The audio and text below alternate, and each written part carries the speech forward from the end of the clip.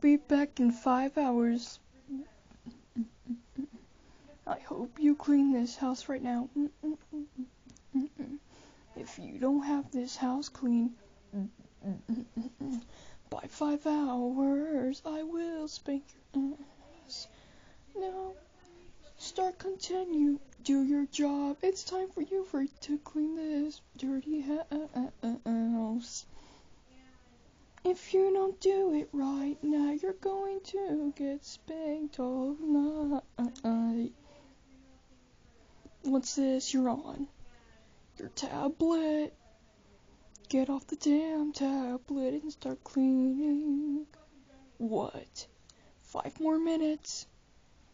Come on, just get up and do your work. Get up right now and clean. Get up right now and clean. Your mom's gonna come home and see this mess all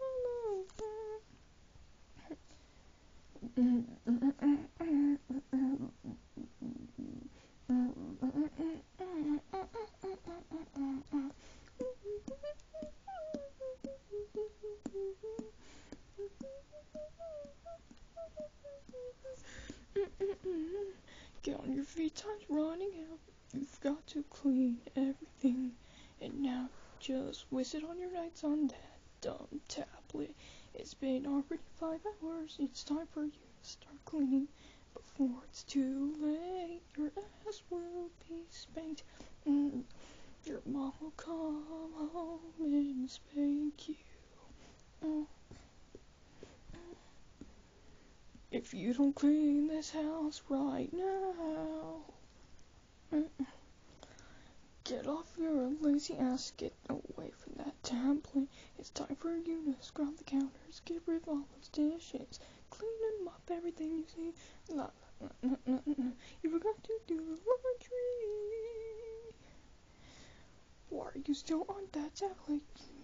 You aren't so lazy. It's not my fault if you get spanked when this is gonna happen. If she gets home right now, it's time that you're gonna get spanked. Get on your knees and bend down. It's time for your whooping. You should have cleaned up